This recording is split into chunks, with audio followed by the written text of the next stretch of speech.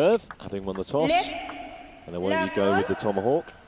Concerned Wang Manyu was with the way she played yesterday in the third and five points. She just seemed to lose her way completely. Just about got her mojo back in time for the decider. Would be a statement win for Liu if she could take take out to adapt a little better now. Wang to the Liu serve.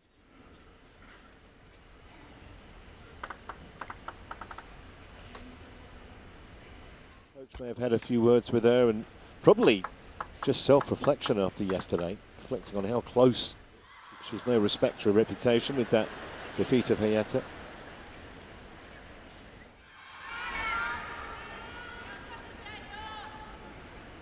Her ultra attacking approach.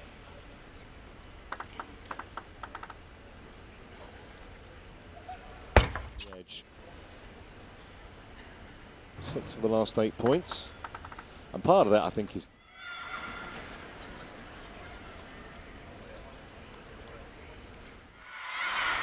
is playing in a really controlled way at the moment.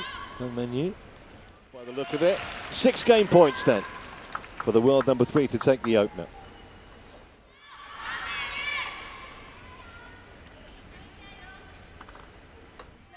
To that happening because Wang about to start game two.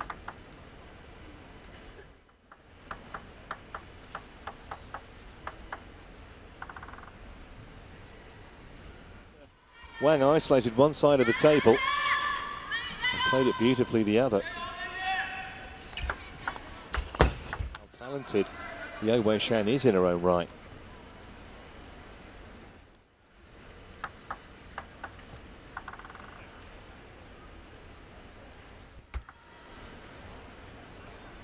Food for thought there for the world number three.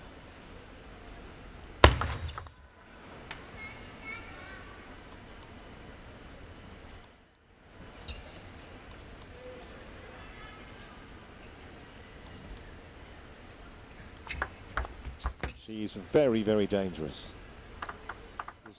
Some thought she would, but still, on her day she's dangerous.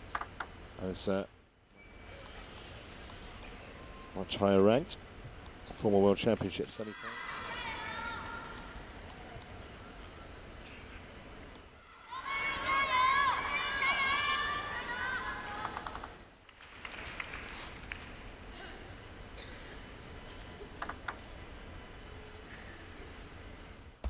Wang. Racket.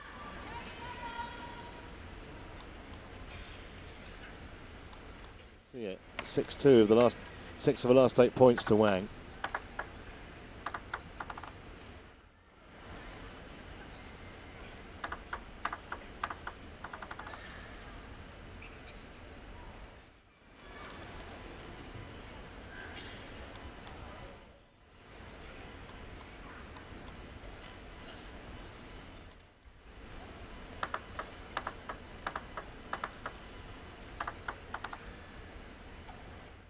And really, that would be a heartbreaker for Liu.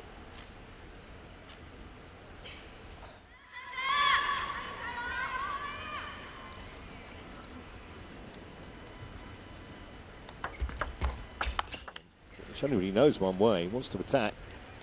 Interesting, a few of those rallies in the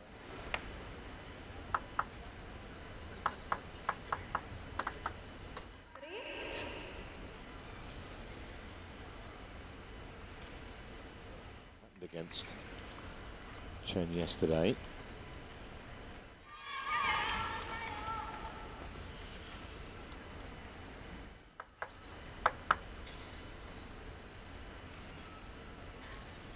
Keeps uh, things tight with the short game, Wang. Liu doesn't look as effective. So you know what she wants to do. I've seen before in some games that uh, Liu Weishan has played that when she Feels like she's a bit... Just can't afford to let Wang get away from her here. Two games down, five, four down. Stare daggers at the table when...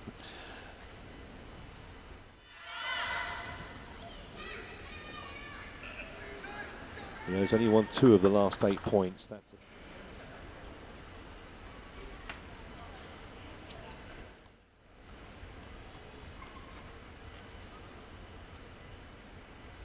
Started to play the Tomahawks uh, better actually fairly early on in the first game.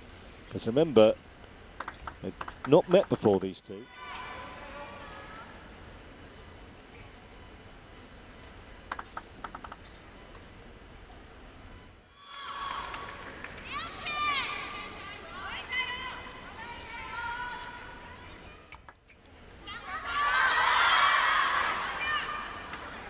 Now on the tables in play on uh, Super Saturday. Everyone's attention on these two.